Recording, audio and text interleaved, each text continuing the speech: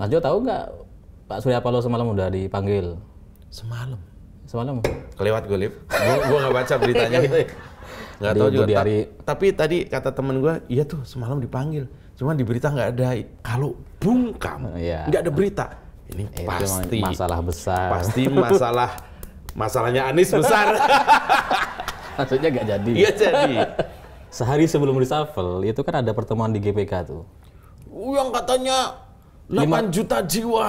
8 triliun aja kali.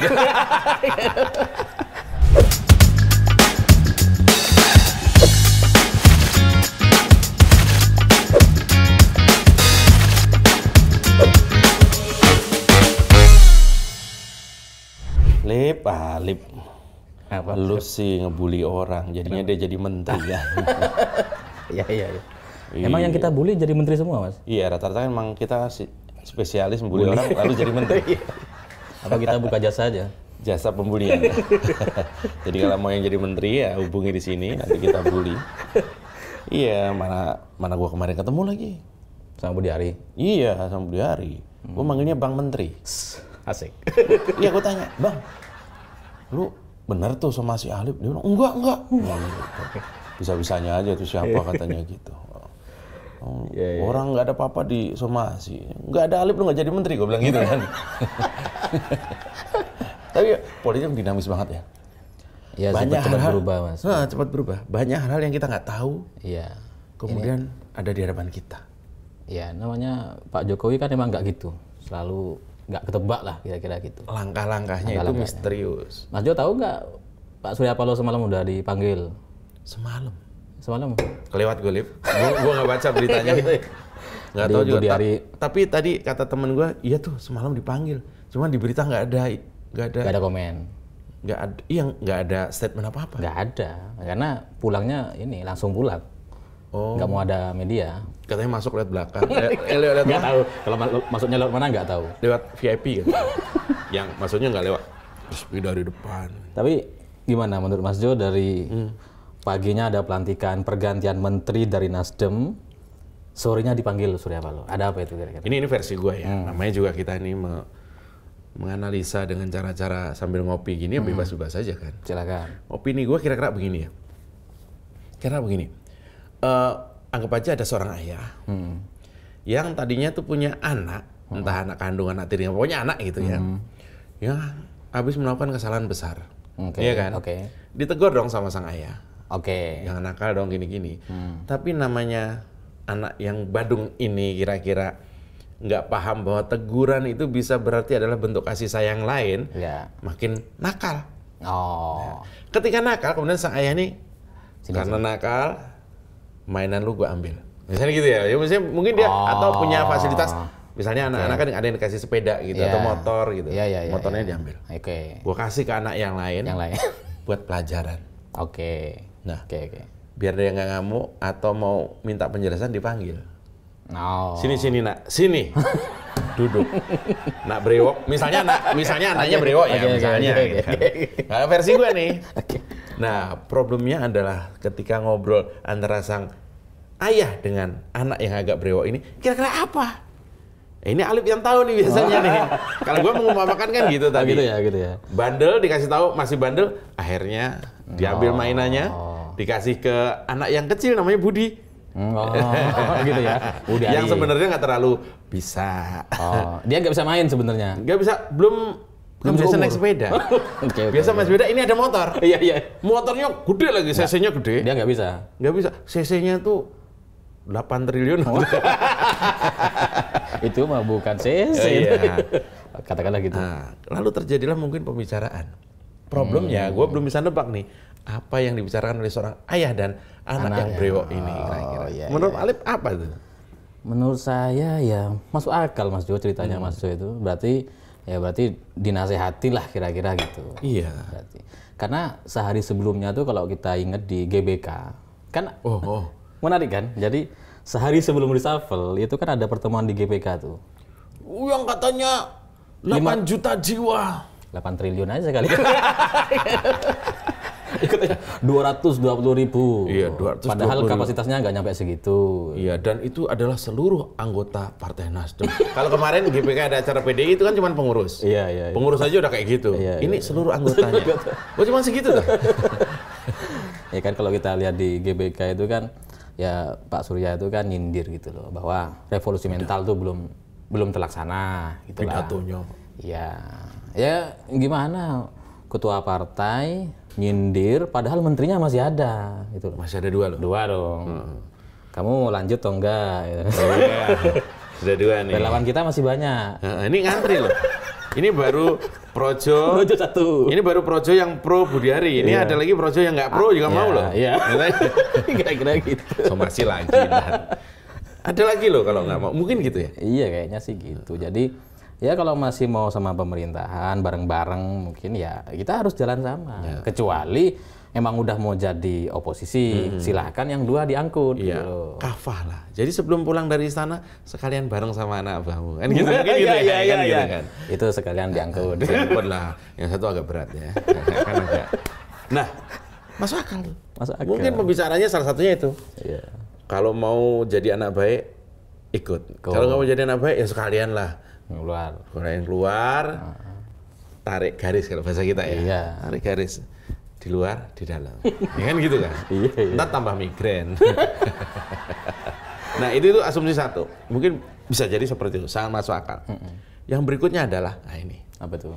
Ini kan politik ini kan ya susah juga. Bisa jadi Pak Jokowi ini orang yang punya strategi yang kadang-kadang di luar batas kemampuan kita berpikir gitu ya. gitu. Dulu ketika dia menarik Pak siapa Pak Prabowo masuk pemerintahan, kita juga Wah kita protes tuh. itu kita protes. Pak kita 10 tahun Pak perang ini tiba-tiba Bapak ambil. Iya, Ya, tapi gitu kan, kita nggak Iya. tahu. Nah bisa jadi semalam itu ketika Surya Paloh dipanggil ke istana Pak Jokowi, ada pembicaraan bisa jadi ya. Pak Jokowi melakukan ya rekonsiliasi lah, sudahlah. Ini energinya akan terbuang sangat banyak. Hmm. Ya mohon maaf, kader situ kan karena korup, diciduk gitu. Iya, iya. Dan sekarang biar netral nggak saya taruh partai mana-mana, saya kasih relawan. Ya. ya. Kita impas ya. Udah ya jangan nakal lagi. Oh bisa jadi. Eh, ayo Bisa jadi gitu. kita bergandeng tangan, Nasdem dukung Ganjar. Ganjar. Mungkin gitu ya. Bisa Ada gitu lagi ya. kan, loh ini namanya juga menganalisa toh. Iya, tapi- bisa salah, bisa benar. Tapi gini Mas Ju, kalau sebelumnya kan kalau Nas eh, Surya Paloh datang ke istana itu kan, itu kan komentar kader-kadernya, wah hubungan bapak dengan Pak Jokowi baik, Baik-baik saja. baik-baik saja. Wah ini kita lagi apa namanya berhubungan soal 2024, kita selesai baik-baik, kita nggak ada perbedaan masalah. Tapi kebayang nggak kemarin itu? Sampai sekarang nih, sampai beri, sampai sekarang kita bikin konten ini, itu nggak ada satupun dari kadernya yang berani untuk memberikan pernyataan apa takut Oh semua. iya iya iya. Setelah kejadian kemarin Iya, ya, iya. ngeri kan. Termasuk siapa Pak Ali itu orang Nasdem itu juga. Oh iya, ada memang betul dipanggil tapi ya belum tahu ya ngeri ya. Iya, iya, iya. Dia aja nggak tahu. Dia nggak tahu. Tapi kita bongkar di sini. Imagine ya. Iya, iya. Tapi masuk akal nggak kalau nggak tahu? Ya masuk akal sih kalau nggak belum dikasih tahu. kan belum dikasih tahu.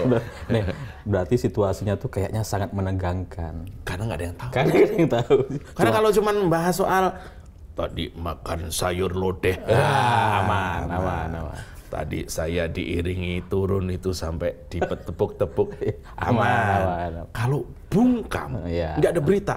Ini Itu pasti masalah besar. Pasti masalah masalahnya Anies besar. Maksudnya nggak jadi. Iya jadi. Atau bisa juga gini. Bisa juga gini. Tahu kan Metro TV atau Media Group ini sekarang beritanya kayak apa? Iya, iya, iya. Nyerang.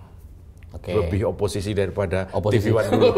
Oh, sekarang udah Metro nomor satu ya? Oh, Metro nomor satu. TV One tuh ya sekedar ini iklan dan saya dengar juga nih.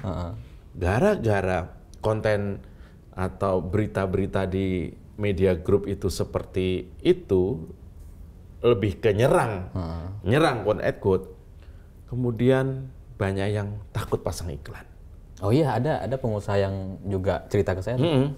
Takut udah, nggak mau ikutan. Ini battle nih, Hmm. Iya, iya, nggak iya. mau ikutan. Iya, iya. Dan ada juga kabar ya, kabar entah benar entah enggaknya nggak tahu. kemudian kok itu masih ada iklan iklan tuh hanya hanya ditaruh doang biar nggak malu-malu banget misalnya gitu kan tapi memang sedang ada problem soal ya namanya media kan butuh ini resource yang sangat Iya, besar logistik lah. iya logistik dan sebagainya nah ini kemudian yang membuat sepertinya di GPK kemarin adalah nafas terakhir kegarangan Pak Surya Paloh itu pun itu pun garang tapi banyak yang pulang duluan itu. Iya, gak waktu garang udah sepi Pulang. sebenarnya. ya karena kan jam-jaman katanya sewanya ya. Jamnya udah cukup ya pulang lah namanya rentalan. Oh, bayar bayar denda gak mau gak cukup ya. Mau bayar lagi, waduh, Kurang lah.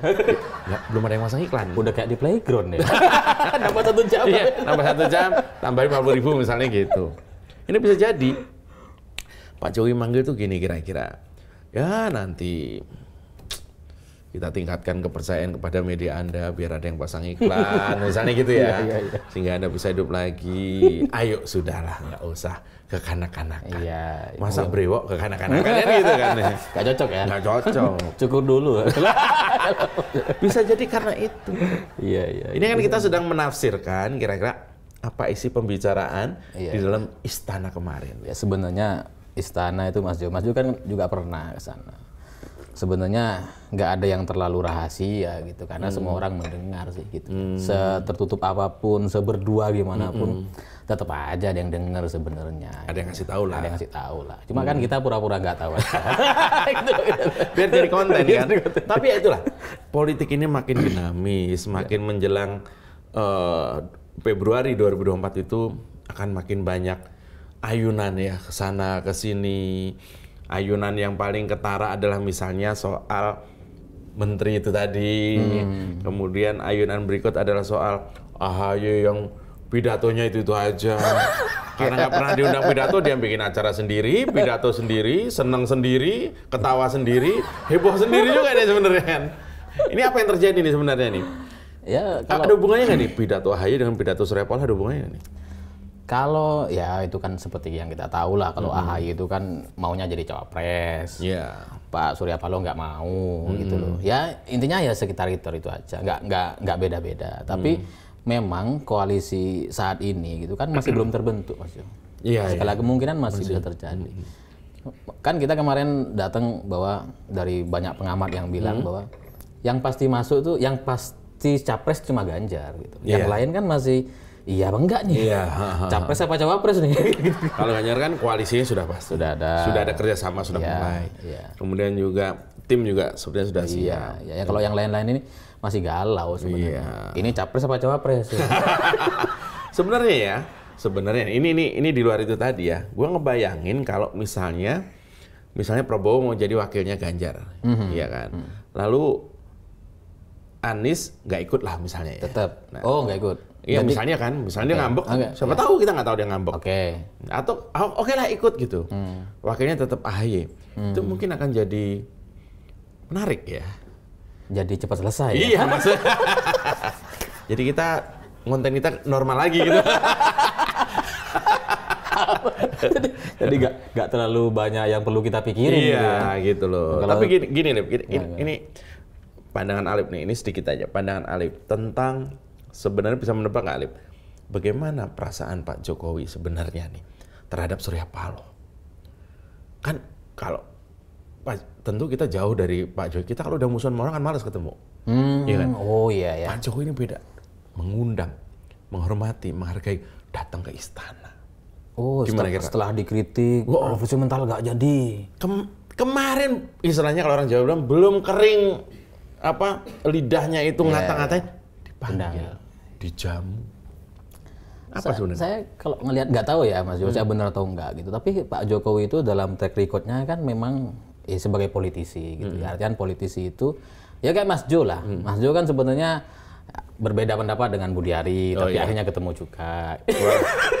itu disuruh ya? Iya. Disuruh, disuruh sama bos ya. Beban moral sebenarnya. gua ngopi bareng loh gua. Beban cicilan Gua ngopi bareng loh sampean. sama Budiari. Heeh. Akrab Foto ya? bareng. Banget. gua gua kan gua bilang gini. Gua ke gua manggilnya kan si Bang. Bang, gua jadi ini deh apa istilahnya kalau menteri ada apanya? Stafsus. gitu. Stafsus. Tahu nggak dia bilang apa? Apa? Itu udah 150 orang Ngantri. relawan Projo mau jadi. Wah harus adil. Menteri itu menteri semuanya, bukan menterinya Projo. Iya iya katanya gitu. Enggak, tapi ya memang seorang politisi itu harus bisa ketemu gitu.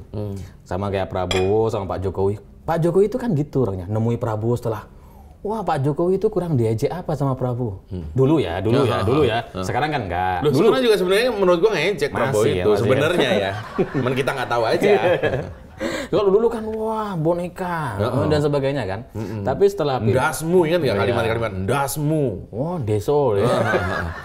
Terus setelah pilpres kan tetap ditemui sama Pak Jokowi. Pak Jokowi itu yang politis. Inisiatif ya. Iya, jadi ya memang dia berani ketemu gitu. Sama siapa aja, Fahri Hamzah, Fadlizon, pokoknya siapa pun yang mengkritik, Cak Nun. wah itu gak enak. Enggak, gini gini gini. Cak Nun itu ya saya tetap hormat lah dengan Cak senior. Nun, senior. Dan jadi tapi ya begitulah politisi gitu. Kalau saya terus terang saya nggak bisa. Kalau saya tuh kalau sudah nggak suka ya udahlah. Tarik garis. Iya. Ya kalau politisi harus tetap ketemu gitu. Mau dalam kondisi apa pun, sepa, sepahit gimana pun tetap ketemu gitu. Saya ada banyak sih Mas Jo, nggak cuma Pak Jokowi. Iya, gitu. iya. Politisi kita tuh kan gitu. itu Musuh, musuh, musuh, kerap. Iya ya. Itu itu kerja politik namanya ya. Kerja Begitulah politik. kerja politik. Iya. Mbak Puan dengan AHY Kurang apa? orang tuanya bagaimana tapi Iya. ketemu dan terlihat seperti AHY bilang itu kakak saya. Iya. Ya politisi begitu. Politisi begitu. Jadi memang kalau suka jangan suka banget. Bisa jadi nanti seolah bermusuhan dalam politik nih. Iya, iya. Kalau benci juga jangan benci banget. Jangan-jangan nanti koalisi. Kalau politisi nggak gitu. Oh enggak. Kalau politisi begitu. Kalau politisi nggak gitu. Oh. Kalau benci jangan benci banget gitu loh. tetap masih sisakan. Heeh. Tapi kalau orang biasa kayak saya yang nggak masuk politik, bukan politisi nggak bisa mas. Kayak gitu tuh nggak bisa. Oh. Makanya saya bilang ini tambahan aja bahwa pendukung Pak Jokowi itu nggak akan mendukung Prabowo. Itu itu sudah pasti. Karena kalau di elit misalkan, oh, partai mau koalisi, Kan politisi. politisi, Heeh. tapi masyarakat nggak bisa. akan bisa, nggak akan pernah bisa. Nah, jadi klaim-klaim misalnya Noel Jokowi ke Prabowo, ah itu Omong kosong. itu aja. Noel politisi. Politisi, ya. Tapi masyarakat nggak bisa. Heeh. Permadi, ya karena memang dia udah di sana dulu kan. Oh, sekarang akrab sama novel dia. Oh, Novel Pak Mumin. Novel Pak Mumin. Novel, Noel, eh, Permadi ya. Iya, trio katanya trio. itu. Trio. nah, jadi harapan kita ya, harapan ini harapan sebagai awam. Kalau Pak Jokowi kemarin bertemu dengan Surya Paloh, sejatinya adalah kerja-kerja politik yang kita yakin, lihat track, track, track recordnya Pak Jokowi, semata-mata adalah untuk Indonesia ini jadi lebih baik. Iya, iya, iya. sama sama kayak cerita Bung Karno kan. Bung Karno dijatuhkan, di kayak disiksa, mau minta pil gak dikasih sama itu Iya, Son. mertuanya itu. Oh iya, ini ngomongin mertuanya Prabowo Iya. dulu. Heeh. Udah sebut ya? Iya, Tapi- kurang menderita apa Bung Karno iya. disiksa oleh mertuanya Prabowo Iya, dulu. iya. Tapi apakah kemudian Bung Karno itu mau me- apa bilang ke pendukungnya "Oh, kita lawan kan Iya, enggak? Enggak. Betul. Ya begitulah politisi yang lebih mencintai negaranya dibandingkan dirinya sendiri. Atau Bu Mega tahun 99. Ya. Ketika terjadi PDI sedemikian apa yang Serbu. ka- kalimat apa yang pertama diucapkan Bu Mega berhenti menghujat Pak Harto. Ya. Itu. Iya, iya. Itu sebenarnya nilai-nilai yang mau mau nilai-nilai yang sedang dijalankan Pak Jokowi. Iya ya, di- jadi sampai di level itu politisi. Nah masyarakat kan masih di sini nih. Oh. Iya. Saya di sinilah dikit. Nah, dikit. Jauh Iya, masih iya, gitu iya. loh. Politisi itu harus ya multi layer istilahnya Iya, ya. iya. Ada layer tertentu dia beneran benci, tapi pada layer tertentu harus pura-pura benci atau pura-pura suka. Betul. Tetap harus bisa ketemu. Sementara kita rakyat awam kan apa adanya, nggak suka, ya nggak suka. Gak gitu suka, ya. iya. Makanya kita kadang pusing. Ngapain Pak Jokowi nemuin Surapalo? Iya, Mike kemarin ada anak muda yang apa orang baik tidak memilih penculik itu kaosnya itu. Oh, iya, iya, Itu iya. banyak yang seneng. Oh ya? Ya karena kita kan namanya rakyat awam kan apa adanya. Makin serem nih, minum-minum Oh, dulu. gitu ya.